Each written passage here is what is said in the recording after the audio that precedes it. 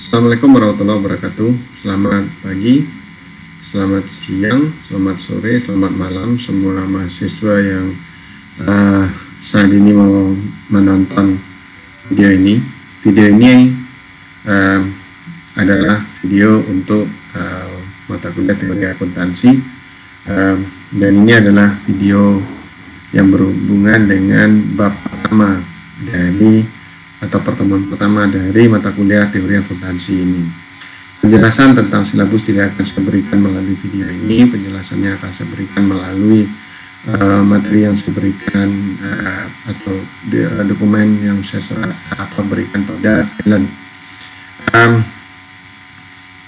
buku um, materi yang akan saya sampaikan ini diambil dari buku yang ditulis oleh Profesor Suwarjono Eh, dan itu merupakan bacaan utama yang akan kita gunakan atau digunakan di dalam mata kuliah yang saya asuh ini. Uh, kecuali untuk dua pertemuan terakhir nanti akan menggunakan uh, materi dari buku Godfrey dan kawan-kawan. Ada alasan mengapa saya memilih untuk menggunakan buku Suwarno. Karena buku tersebut adalah buku yang menggunakan pendekatan teori akuntansi normatif yang sesuai dengan kebutuhan mahasiswa S1 di Indonesia. Dan um, di sana di Indonesia saya belum menemukan buku lain yang basisnya adalah uh, teori normatif. Nah, mahasiswa S1 akuntansi membutuhkan teori normatif dibandingkan pendekatan teori yang lain. Nah, um, hanya saja ada disclaimer sedikit bahwa buku Suwarjono ditulis ketika IFRS belum diberlakukan secara khusus uh, atau di, diadopsi secara resmi oleh pemerintah di Indonesia sehingga pendekatannya masih uh, tidak uh, kental dengan IFRS tapi masih berupa uh, masih ada kandungan USGAP dan tetapi bukan berarti tidak ada IAS IAS uh, atau IFRS di dalamnya. Baik, kita mulai uh, pertemuan pertama ini. Um,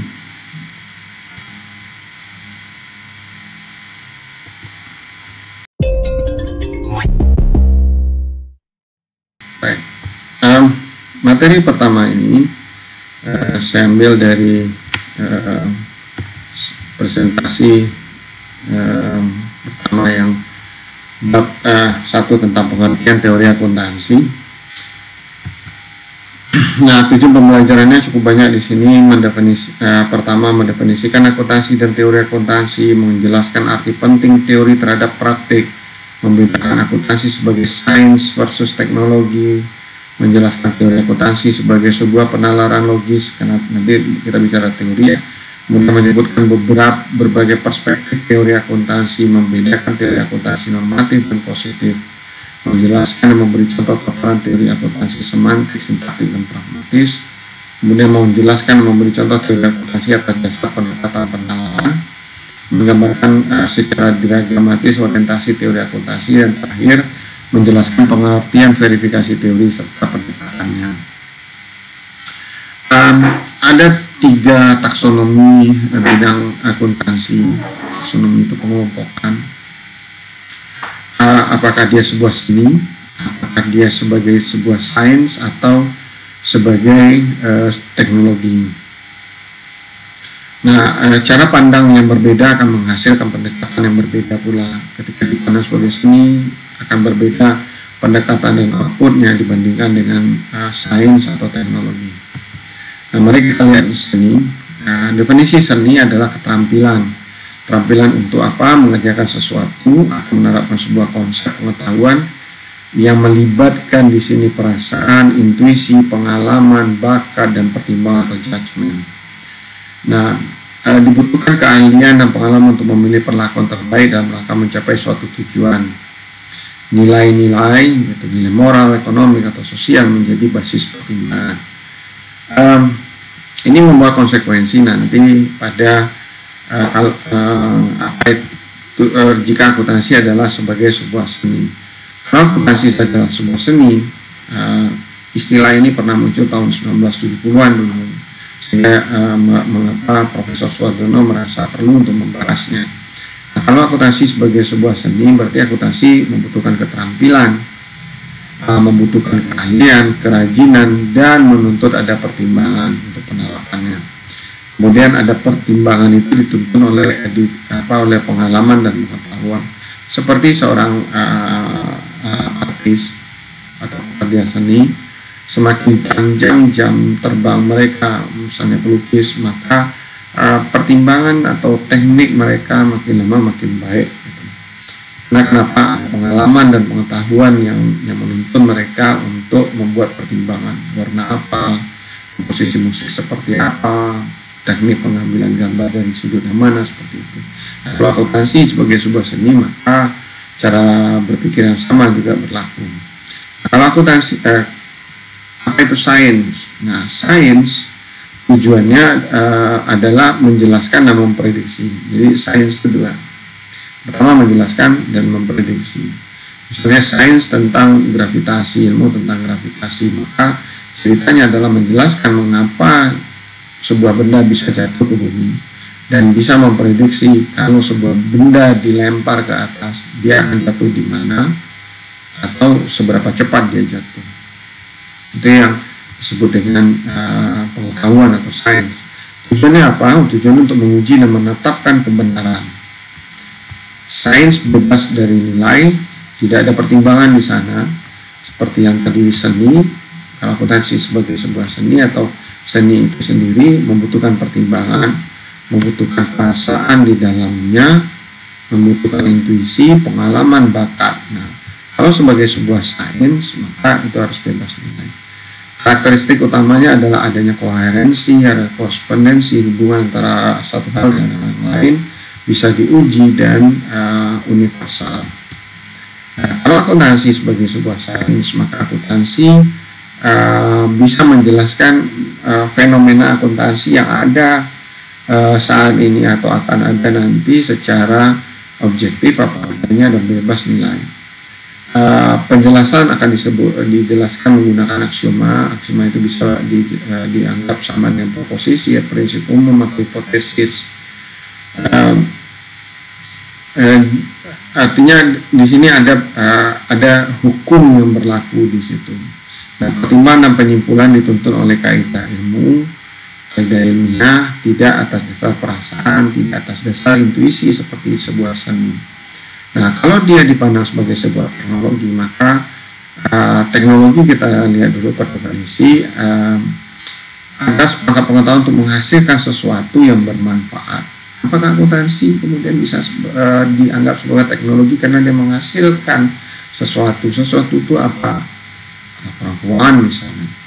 Nah, penggunaan pengetahuan ilmiah dalam suatu masalah uh, pada suatu saat untuk memecahkan masalah nyata uh, yang dihadapi sesuai dengan budaya dan nilai yang dianut. Jadi teknologi akan berubah, teknologi akan mengikuti budaya dan mengikuti nilai-nilai yang ada. Uh, misalnya teknologi yang kita gunakan hari ini itu berhubungan dengan budaya kita, berhubungan dengan nilai-nilai yang kita.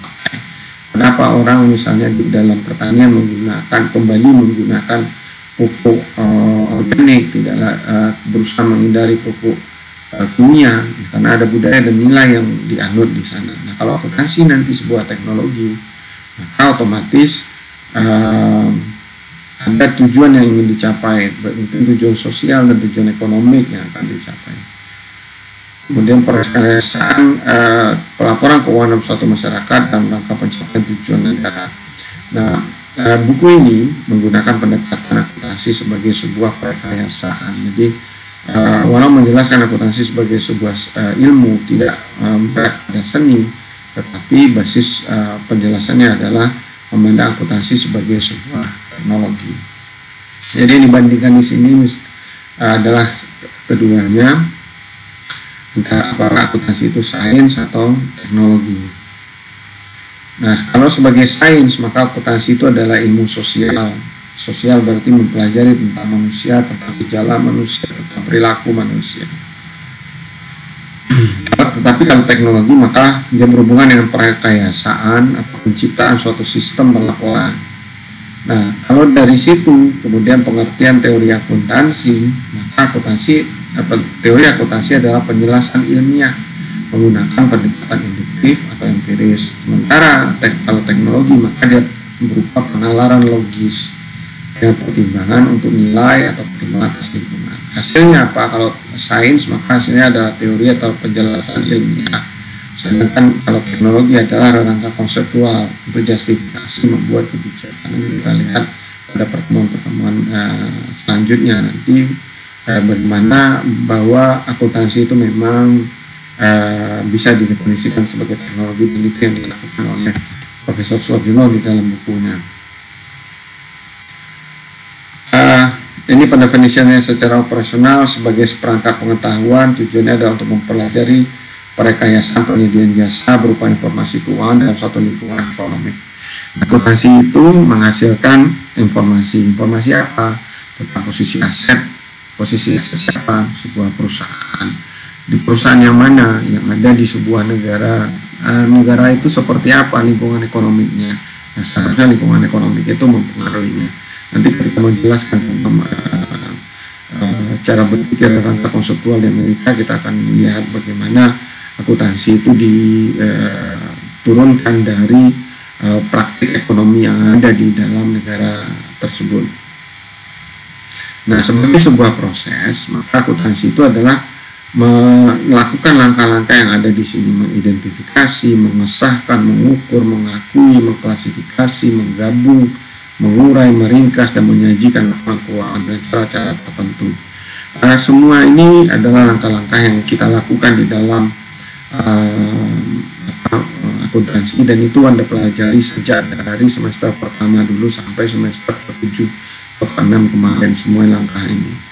Mengidentifikasi sesuatu apakah peristiwa akuntansi atau tidak kalau iya maka e, seseorang harus mengesahkan peristiwa tersebut harus kemudian mengukur sebuah peristiwa peristiwa akuntansi tersebut mengakuinya di dalam um, apa ada dalam buku besar dan seterusnya sampai dihasilkan laporan keuangan itu sebagai sebuah proses.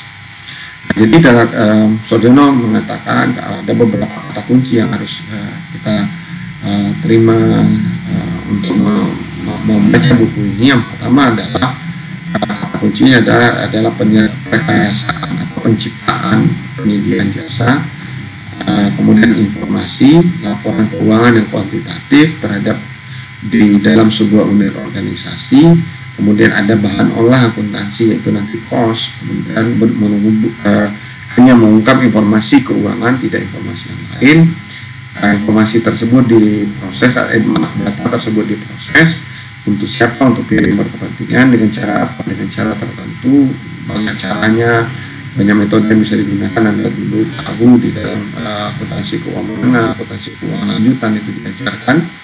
Kemudian untuk apa? Untuk dasar pengambilan keputusan. Nah apa itu teori? Teori adalah sesuatu yang abstrak tentang sesuatu yang ideal bisa berupa peraturan atau standar atau norma. Dia merupakan lawan dari sesuatu yang nyata atau praktis karena dia abstrak ya. Merupakan penjelasan ilmiah dan yang penting bahwa didasarkan pada penalaran logis. Tidak tebak-tebakan tidak menurut perasaan saya tidak menurut eh, apa eh, naluri tapi berdasarkan penalaran logis nah sehingga pengertian teori akuntansi nanti akan berbeda. Apakah dia sebagai sebuah sains atau sebuah teknologi? Kalau dia sebagai sebuah sains maka teori akuntansi bersifat positif. Bisa digunakan untuk memprediksi tetapi sebagai teknologi maka sifatnya normatif. Apa itu normatif dan positif nanti ya, kita lihat setelah ini.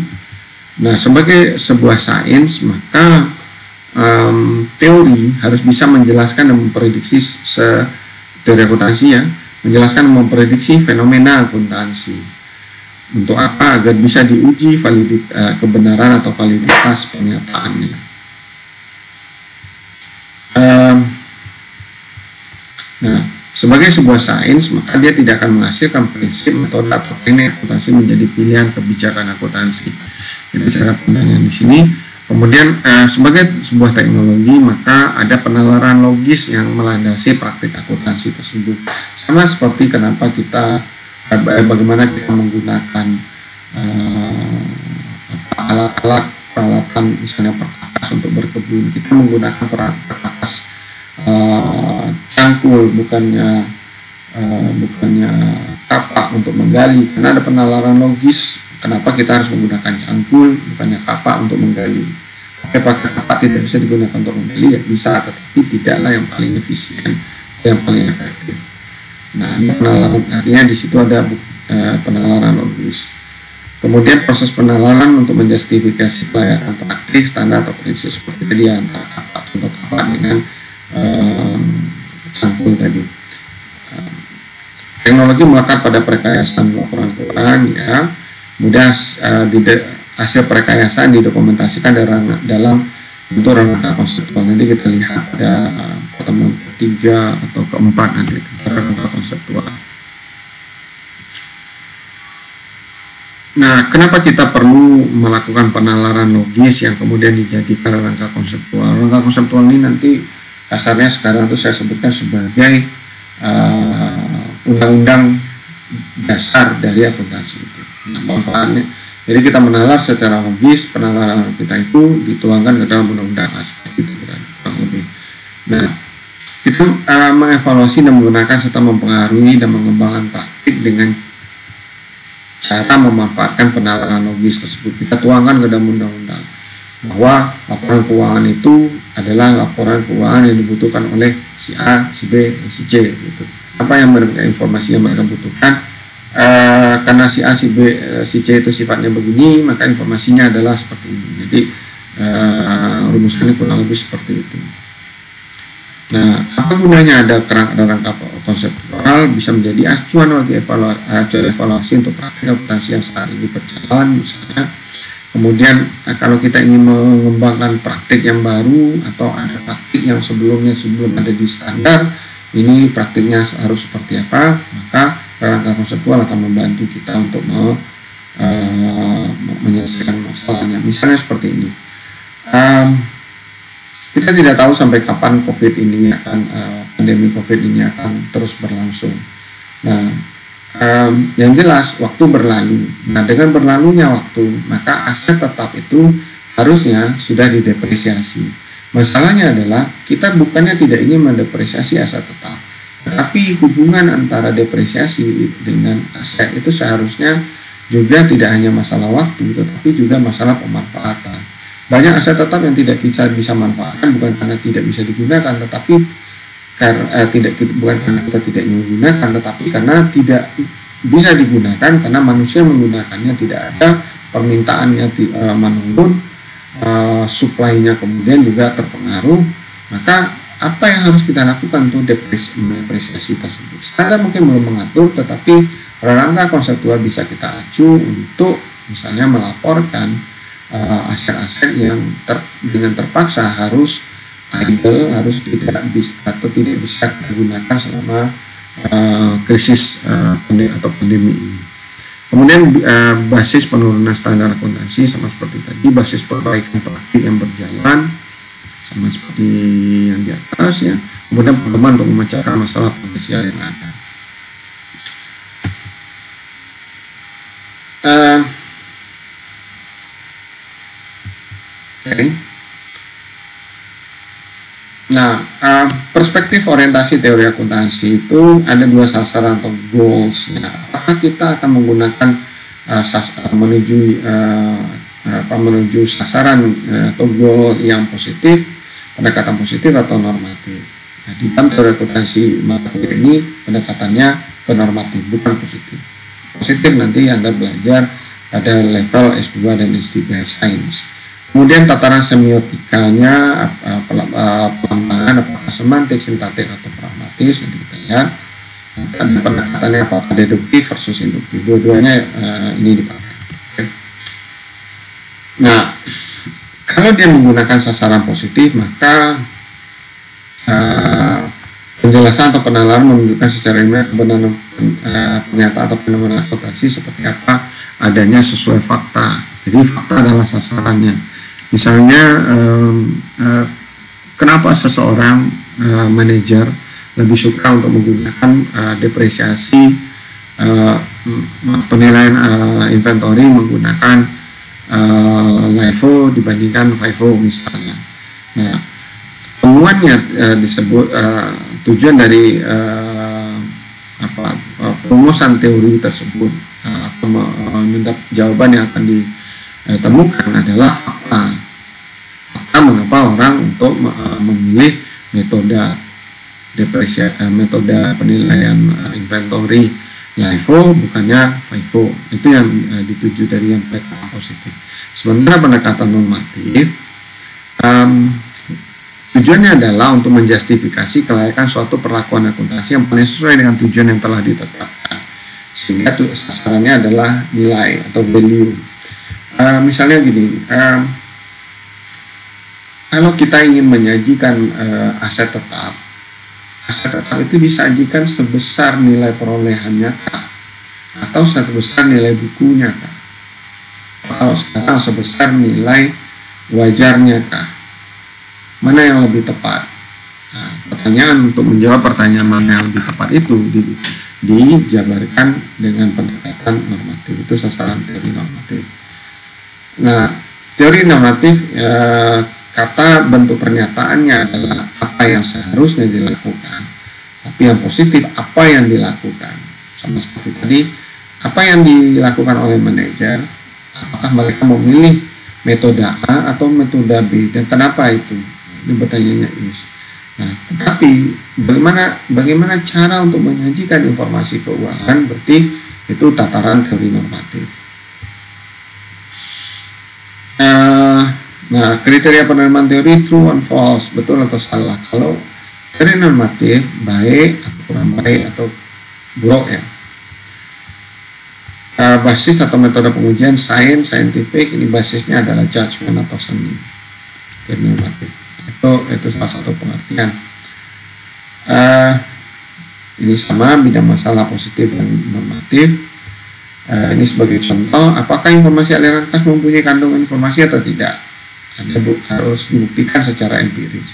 Tetapi pertanyaan normatif misalnya di, uh, yang diajukan adalah apa sih sewa guna harus dikapitalisasi? Bagaimana perubahan harga diperhitungkan dan disajikan dalam statement keuangan? Apakah yang lebih tepat istilahnya beban untuk expense dan biaya untuk cost? Ini pertanyaan yang berasal dari uh, yang akan secara ekstensif akan ada istilah ini akan anda temukan di dalam buku. Nah, ada tataran semiotika dan teori komunikasi.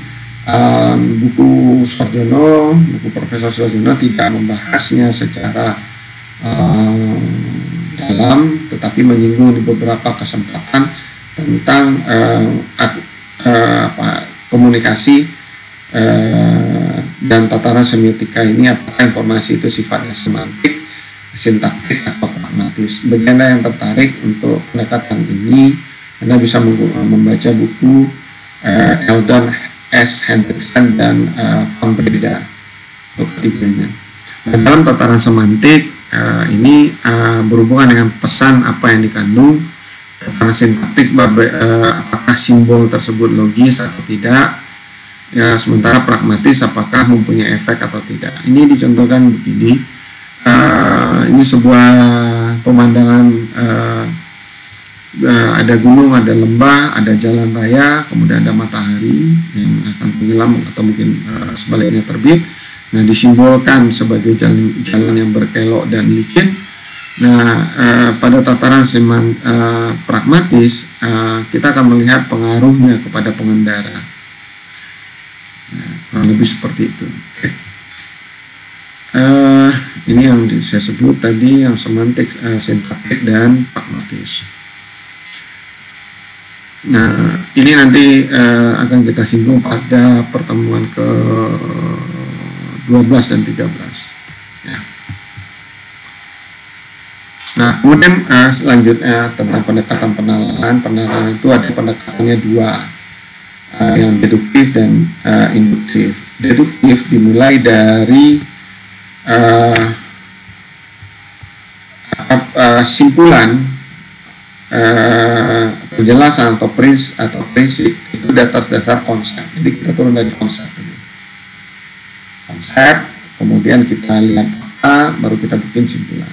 Sebaliknya induktif, kita menurunkan simpulan itu berdasarkan kasus-kasus peristiwa-peristiwa. Itu cara pandang induktif. Misalnya, um, karena anda memperhatikan ada uh, ada seseorang yang uh, terlihat uh, mondar mandir, berkeringat, uh, gelisah. Dari situ Anda kemudian membuat kesimpulan bahwa mungkin orang ini sedang lapar atau orang ini sakit dan ingin mencari pertolongan. Nah itu induktif. Anda membuat kesimpulan setelah mau mendasar apa mengumpulkan bukti-bukti. Nah sebalik, sebaliknya kalau deduktif Anda mendeduksi dulu ada konsepnya kemudian atau rumusan dasar kemudian baru kemudian uh, turun menjadi simpulan. Nah, uh, so, uh, Profesor Sojono uh, berusaha mendudukkan ya uh, pemahaman bahwa kenapa beliau menggunakan pendekatan atau uh, kita mahasiswa S1 perlu menggunakan atau uh, berada pada sisi normatif bukan sisi positif. Nah, di sisi normatif dan positif itu uh, ada irisannya uh, yang semantik dan sintaktik pun ada irisannya dengan yang positif dan uh, positif induktif tersebut. Nah, kita kita akan berat di sini pada buku ini ya. Uh, ini proses verifikasi teori. Uh, saya kira Anda bisa nanti mau baca di dalam bukunya untuk penjelasan masing-masing poin-poin ini dan tadi juga uh, sebelumnya sudah saya jelaskan. Demikian saja uh, penjelasan awal ini. Nanti kita akan uh, uh, ada diskusi khusus di dalam uh, apa di dalam Thailand atau LMS kita di UNAN. Um, uh, nanti kita juga diskusikan tentang uh, uh, silabus tugas dan kontrak perkuliahan di sini. Oke, okay? ada pesan di sini dari Profesor Sojono bahwa membaca, berpikir, menulis, meringkas, dan bertanya itu adalah langkah-langkah atau hal-hal yang harus dilakukan oleh seorang pembelajar sejati. Perhatikan bahwa dia tidak menggunakan kata pembelajar tetapi menggunakan kata pembelajar. Ini harus uh, Anda tanya juga, kok gitu ya? Baik, uh, sampai di sini dulu. Uh, terima kasih. Assalamualaikum warahmatullahi wabarakatuh.